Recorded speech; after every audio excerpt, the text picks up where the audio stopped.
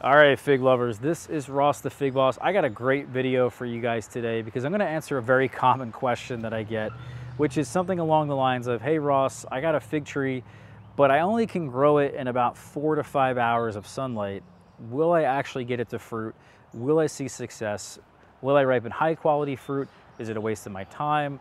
How much sunlight hours or the minimum amount of sunlight hours does a fig tree actually need?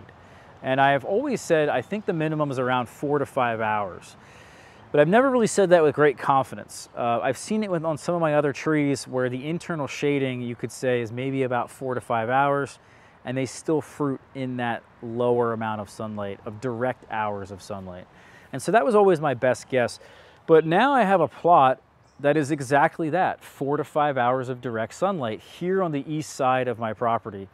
Um, and so I've, I've uh, actually now I'm seeing it firsthand for myself that I have the majority of the fig trees in this plot that are now entering their second or third season are actually fruiting and putting out their main crop fruit buds as we speak.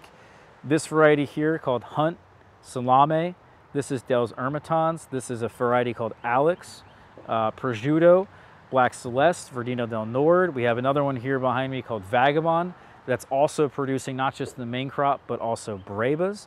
And so this is really, to me, exciting news. I feel really good about this.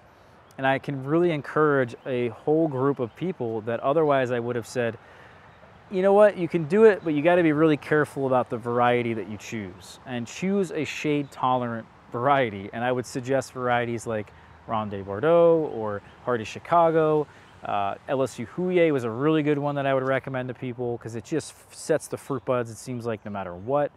Um, but now there's a lot more to choose from. And I feel really good for those people that want to do this and want to grow figs, but they just don't have the sunlight hours.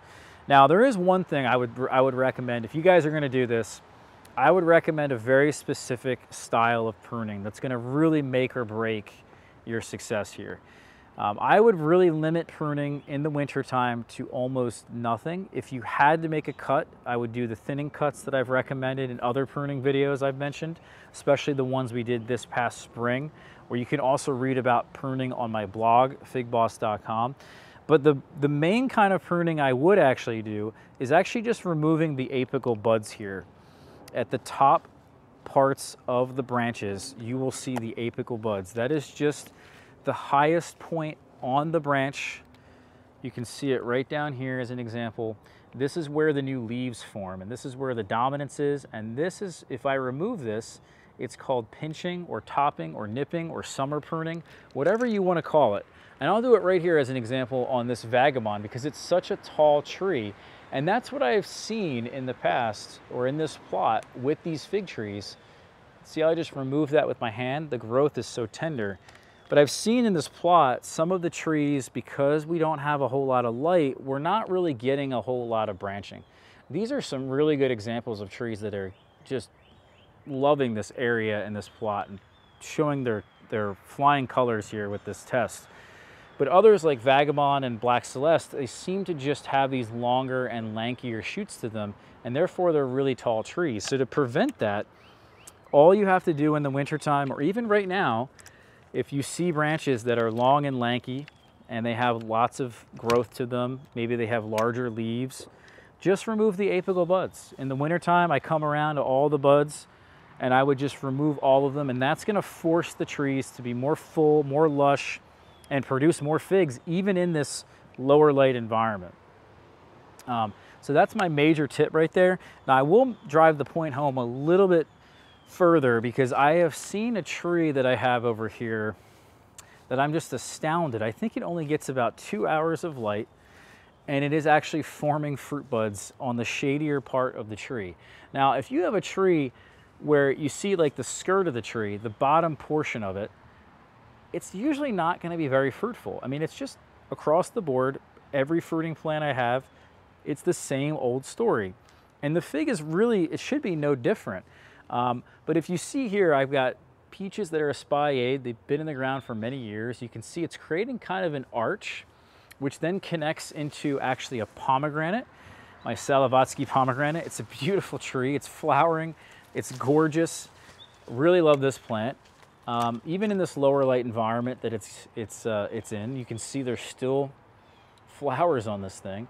But what's even more amazing is that there's a, a branch here of a fig tree that I have that is only getting about two hours of sunlight. This is a branch of a variety called Nerucciola de Elba, and there is actually fruit buds forming right on in there. And to me, that is just absolutely amazing. I never would have guessed that. I'm sure you guys can see the double dots there. Those little bumps where the leaf stem connects to the main branch is where the figs will form. And it's only really getting sunlight in the morning from this angle. and it, it, just really is only about two hours of light before the peach tree next to it shades out all that light. Um, and there's absolutely nothing, of course, in this direction for the most part. So I just find um, figs to be a lot more shade tolerant than I thought. It's just another check mark towards the fig of being such an amazing fruiting plant. I would highly recommend you guys try one if you haven't. Now you, you should have some confidence into growing a fig tree of your own, even in these lower light environments. I thank you guys for watching. Please spread the word. Hit the subscribe button for me, hit that like button, and if you want more fig related information, check out my blog, figboss.com. We'll see you guys for the next one. Take care.